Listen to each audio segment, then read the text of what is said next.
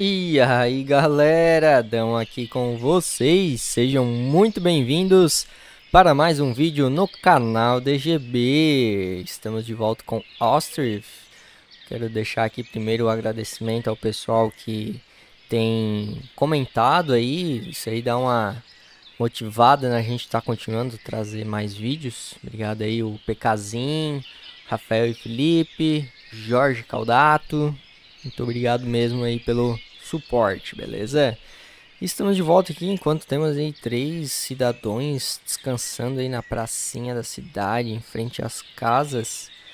E nós precisamos continuar aí a nossa nosso crescimento, né? No momento nós concluímos a fazenda, porém não deu para plantar porque a gente já concluiu agora no final do ano, né? Nós só fizemos a configuração dela. Nós temos aqui é, pessoas para poder trabalhar. Então a gente já vai botar aqui em algum lugar para não ficar com essas pessoas paradas. Acho que dá para botar mais um aqui no, no ferreiro. Tá, mais um no ferreiro. Estamos fazendo carvão para exportar. Já temos um estoque aqui feito.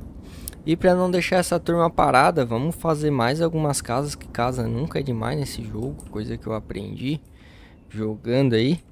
Então, vou botar aqui mais alguns lotes. Um, dois lotes, três lotes, quatro, cinco, seis. Isso aí vai dar tempo deles construírem enquanto a gente vai vendo aqui o que mais nós podemos estar tá fazendo, tá? Acho que uma boa ideia para a gente iniciar aqui, o continuar o nosso avanço, seria partir agora para a criação de animais. O que, que, vocês acham? Tem aqui a parte da galinha, que é bem tranquila de fazer.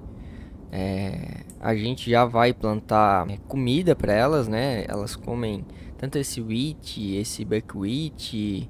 Então, ó, no ano que vem vai ter mais wheat, depois volta a plantar o buckwheat e assim vai. Qualquer coisa a gente bota mais uns campos ali para plantar. Vou vir aqui então no Chicken Chop, Chicken Cop e vamos achar um localzinho aqui para ser plantado, para ser plantado, para ser colocado o nosso galinheiro, galinheiro que vai dar aí para nós muitos ovos e carne de galinha. Quando tá cheio aqui, tem mais galinhas nascendo, eles vão abatendo e aí gera carne para os nossos aldeões.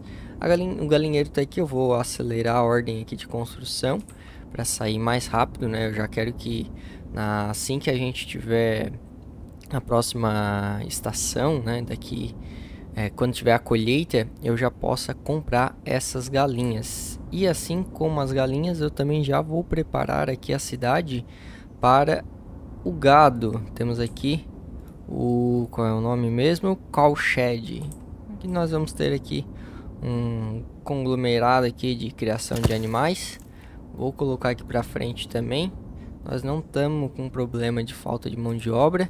Então vamos aí botar na velocidade 3 e deixar eles construírem essa casa. Estão terminando aqui. E depois criar o galinheiro e o cowshed. No momento aí já está começando a nevar. Então a gente vai ver o mapa ficar daquele jeito, branquinho de neve. Eles ainda estão terminando essa casa aqui. Pra, ó, terminaram a casa, agora sim eles vão começar aqui a construir o galinheiro e o lugar que a gente cria os gados. Chegou um mensageiro aqui, mensageiro de Balaclia, Balaclia, e a gente não tem aqui nada que possa vender para eles. Então, e eles têm a vaca, mas só porque a gente não consegue comprar ainda, né? Temos que ter pelo menos o estábulo e temos que ter a, o alimento da, do gado, né? O gado se alimenta desse raio aqui, ó. Então a gente precisa colocar alguns desses para estar tá colhendo raio, que é uma grama que vai para esse suporte e ela é seca. E aí a gente tem a comida do gado. Eu vou colocar uns três ou quatro aqui. Acho que três tá bom. E aí a gente coloca um armazém, ó, desse rei, rei barraque. Que é um lugar que a gente vai guardar essa comida. Eu acho que eu vou colocar logo atrás aqui do nosso estábulo de, de vacas, se é assim que se pode dizer. Então aí a gente já tem agora toda a linha pronta, né? Já construíram o nosso galinheiro, aliás, a gente pode botar aqui, ó, hatching limit, que é os filhotes, né? Os pintinhos. E aí a gente pode botar um total de 30. E aqui as galinhas adultas, punhadeira, a gente pode deixar 30. A gente deixa 30, eu gosto de deixar 30, 30, porque quanto mais pintinhos a gente ter, mais eles vão ficando adulto e aí quando é, sobressai esse valor de 30 aqui, o próprio trabalhador aqui abate e aí a gente tem a, a o frango para estar tá vendendo na, aqui na vendinha. Então já é mais uma fonte de comida para os nossos aldeões. Temos aí também agora o nosso cowshed, nosso cowshed é pronto, né, para a gente poder criar os gados e os ox. Os ox são usados para fazer esse plug. Plug seria arar a terra, eu acho, né? Eles passam um gadinho aqui arando antes do plantio. Isso aí provavelmente vai dar mais resultado na nossa colheita, né? Um maior número de, de plantas que vão nascer. A gente pode habilitar aqui a use follow field if available, que daí caso o nosso campo esteja aqui no modo follow, eles vão lá se alimentar, vão lá ficar repousando naquele lugar. E aí a gente pode também adicionar um pasto. Esse pasto aqui vai servir caso não tenha nenhum campo disponível, em vez de ficar ali dentro, né, trancados ali, ele, eles ficam nesse pasto.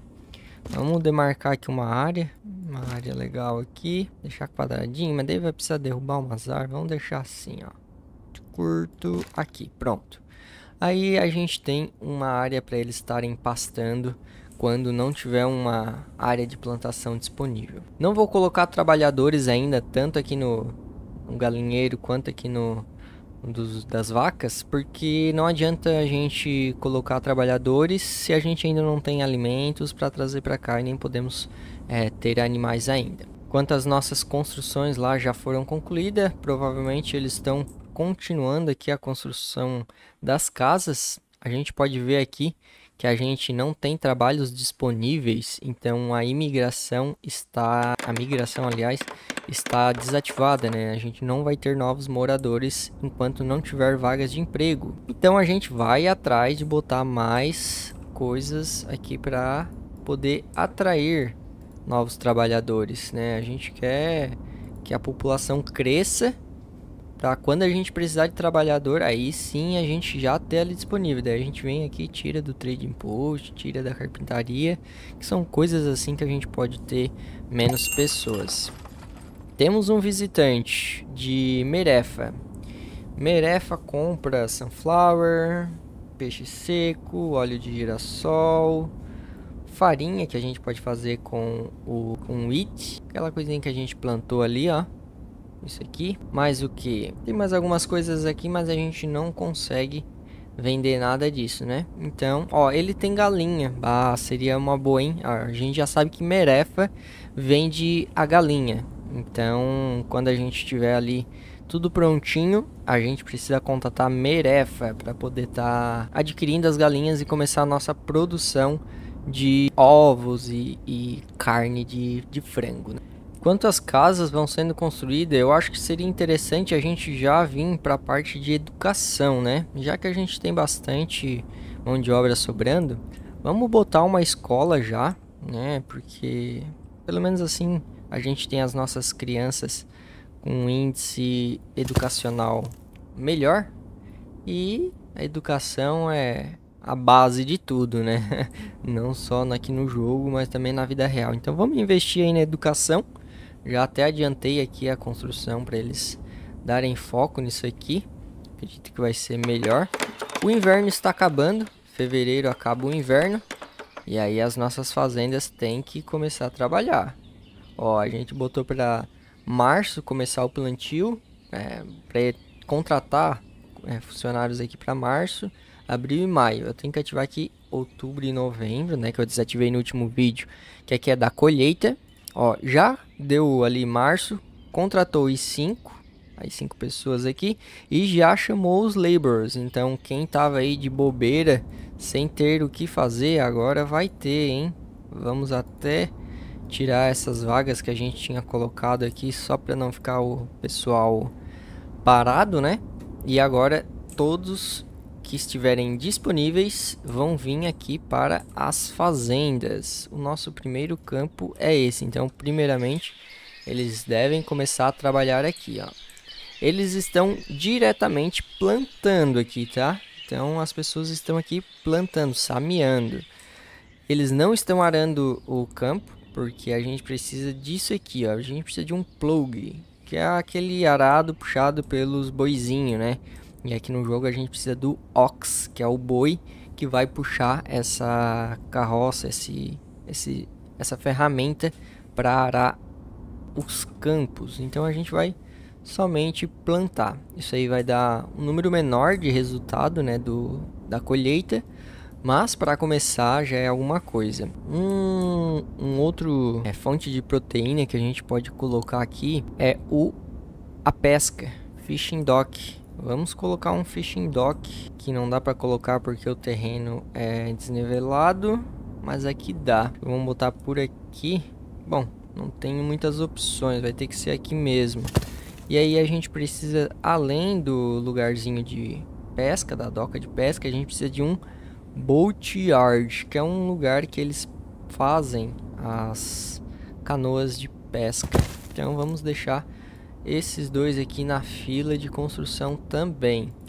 Enquanto isso, nossos trabalhadores estão aqui fazendo a escola.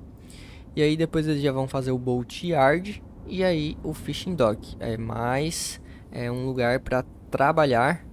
E aí a gente já tem aqui três pessoas precisando de emprego.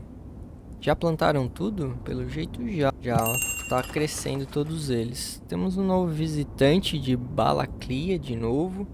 Mas a gente já sabe que por enquanto não tem nada para vender. Talvez a gente precise comprar Iron.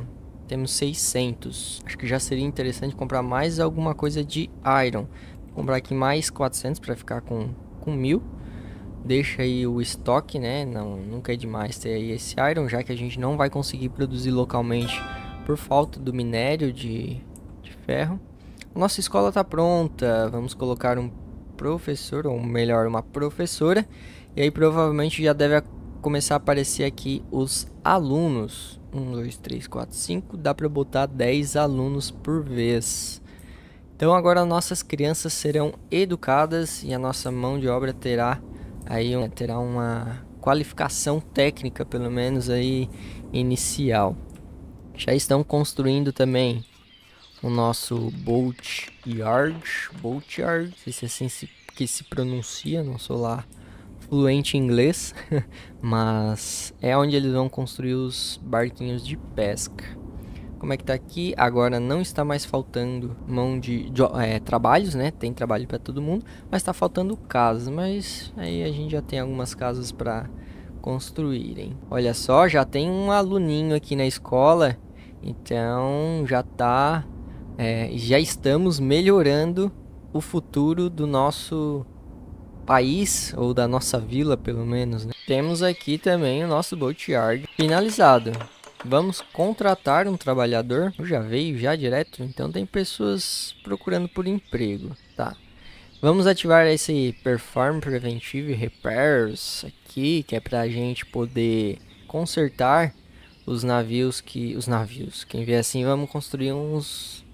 Uns porta-container, né? Vamos construir uns botes de pesca. E aqui é onde a gente vai ter a nossa doca de pesca. Onde a gente vai ter que fazer o pedido. E aí sim o nosso trabalhador aqui do boatyard vai construir a carroça. Estamos com um problema de tábuas pelo jeito. Vamos dar uma olhadinha aqui na nossa florestaria. Temos só dois. Vamos colocar quatro na florestaria. Se tá faltando tanto é, lugar para colocar madeira. Ah, eu ia fazer um estoque aqui no último episódio acabei esquecendo. Vamos fazer aqui, ó, wood. Vamos ter armazenado aí de reserva. Não sei se eu vou colocar outra coisa ou se deixo só para wood isso aqui. Talvez o statue também é bom, statue. Pra gente ter um pouco pelo menos de tábuas e esse material que é usado para o teto. Então vamos botar 6 mil, não, vamos botar 8 mil de tábuas e vamos colocar 2 mil dessa palha para o teto. Aí a gente contrata uma pessoa aqui, né, uma mulher mesmo. Vamos colocar para os laborers virem trabalhar aqui quando possível. Até criança vem, ó. Veja só, devia estar tá na escola, hein? Ó, Natália. E aqui quem é que tá? É outro, não é o mesmo. É Ole, Olexa. Então tá, menos mal. Mas devia estar tá na escola. Temos aqui agora nossa, nossa doca de pesca. Ó. Vamos solicitar aqui três barquinhos. Ordem de, ordem de construção dos barquinhos. Que vem para o nosso boat yard. Já está aqui a fishing boat. E o cliente a gente vê que é essa doca, essa doca aqui. Então agora o nosso trabalhador vai lá buscar as madeiras para construir o barquinho. Assim que tiver tudo pronto, o barquinho vem para cá e aí a gente contrata os trabalhadores para fazer a pesca. Outra coisa, deu março, abril, maio, mas lá em março, que é o primeiro mês disponível para a gente poder plantar, já estava tudo plantado. Então a gente pode fazer o seguinte, vir aqui desabilitar maio e abril. Ou seja, maio e abril não vamos ter ninguém contratado aqui para a fazenda, tá? Para as fazendas. Aí a gente economiza mão de obra e ela fica disponível aí para outros lugares, né? Porque daí essa galera aí fica de laborers. Ó, já temos um trabalhador aqui, mas está dizendo que não tem boat. Estamos sem canoa, sem bote. Mas ainda falta aí algumas madeiras. Vamos botar aqui, ó. Laborers. Vamos botar os laborers para trazer essas madeiras, porque pelo amor de Deus, né? Que demora. Tem 8 mil aqui. Aqui tem. Não dá pra saber, né? O limite tá em 10. Vamos ver quantas madeiras nós temos. Cadê o wood? Ali, a última. 14 mil. Temos 14 mil disponível. Temos uma mensagem de Derkashi. Derkashi. Ó, oh, compra carvão, hein? Vamos vender esse estoque aqui que eles estão querendo. Eles querem 6.060. Vamos vender tudo. Não tem mais coisa aqui? Não. É só isso mesmo. Eles vendem porco, eles vendem iron e vendem o iron ore, hein? A gente pode botar uma produção de iron, em vez de pagar aqui 12 pelo iron propriamente dito, a gente pode comprar um mineral por 5 e tá produzindo nosso próprio iron. Daí quando a gente tem bastante mão de obra sobrando, né? Eles vendem também aqui, ó, pig, é, porquinho, vaca, cavalo e é isso dos animais. Eles também vendem couro, hein? Couro a gente vai precisar. Eu vou comprar aqui uns 500. Eu vou comprar mil de vez. É barato. Vamos comprar mil couro, aproveitar que a gente vendeu esse carvão aqui. Vamos conseguir 300. Eu vou comprar mil couro por 250. Por que eu comprei couro? Porque daqui a pouco eles devem começar a faltar com os, as botas, né? a gente tem aqui uma necessidade de botas dos, dos moradores. Ó, esse shoes, shoes. Então a gente precisa produzir esse shoes. Vamos ver aqui onde é que fica a produção dele. Ó, tá aqui, ó, shoes maker.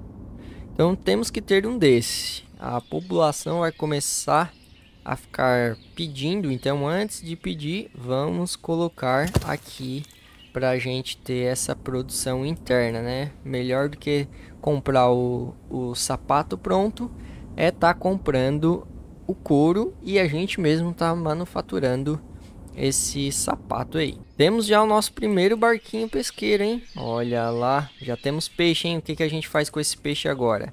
A gente coloca na vendinha. Vamos ver aqui. Ó, veio esse marrom, marrom, que a gente provavelmente tinha aqui. E veio também o fish. Então agora a gente vai trazer os peixes para cá assim que possível, já estão trazendo para ter uma fonte de proteína. Vamos ver se tem mais coisa disponível? Não, não temos mais nada disponível para venda, então por enquanto essa vendinha vai ficar fechada. Temos já dois barquinhos aqui, hein? Ó, tem um pescando e aí o segundo tá lá parado. Vamos fazer o quê? Vamos botar mais um cara aqui para pescar. Se bem que a gente tem quatro vagas abertas sem ter trabalhadores, hein? Deixa eu ver se eu consigo tirar trabalhador de outro lugar. A gente pode tirar construtor, a gente pode tirar da florestaria, é, podemos tirar construtor ou da florestaria. A gente tá bem na florestaria, Firewood temos 8.500, Wood temos 18.000. Então vamos deixar aqui só dois mesmo. Daqui a pouco eles terminam essa casa aqui também, daí vem mais um trabalhador. E vamos deixar aqui com três pessoas, que são três barcos, três pessoas. Eles já estão trazendo a madeira que precisa para construir o último barquinho. Então daqui a pouco, tendo os três barquinhos, a gente pode até tirar esse trabalhador daqui. Porque daí ele fica livre para ir para outro lugar. E a gente coloca um trabalhador, né? Por enquanto a gente fica fazendo esse microgerenciamento, né? E aí a gente traz esse trabalhador de volta quando precisar reparar algum desses barquinhos. Temos aí já os três? Temos já os três. Coisa boa. Três barcos, três pescadores. É isso aí. Agora temos peixe para vender aqui na, no centro de comércio da nossa cidade, da nossa vila, né? Pessoal, acho que por hoje é isso. Nós concluímos aí a, o processo de fazenda, né? Temos aí a nossa plantação própria. Ah, temos a primeira, o primeiro falecimento por idade. A gente precisa de um plot para um, é um túmulo, né? Para o velório. Onde é que nós vamos fazer o cemitério? Precisamos fazer num lugar e que esse lugar não vá ser movido, porque não dá para tirar isso aqui. A minha ideia vai ser colocar por aqui. Por quê? Porque mais tarde a gente coloca a igrejinha aqui também. Aqui é uma parte alta da cidade. Então, geralmente, né, as igrejas eram feitas na parte mais alta da cidade. Então faz sentido ter aqui. Foi instantâneo, só coloquei aqui, já veio a, pessoa falecida para cá. E coloquei aqui mais três vagas caso necessário. Tomara que não tão cedo, né? Mas como eu ia dizendo, plantamos as nossas primeiras fazendas. Fizemos aqui, então, o nosso fishing dock. Temos agora, então, pesca, peixes sendo vendidos no nosso mercado. Temos aí já pronto para receber as galinhas e as vacas. Então, no próximo vídeo vamos tentar então colher essa plantação e tá comprando aí os nossos primeiros animais. Então se você gostou, se inscreva aí no canal, deixe aquele comentário, aquele joinha para fortalecer e tá dando aquele incentivo na produção de mais vídeos aqui para vocês. Um forte abraço e vou ficando por aqui. Até o próximo vídeo.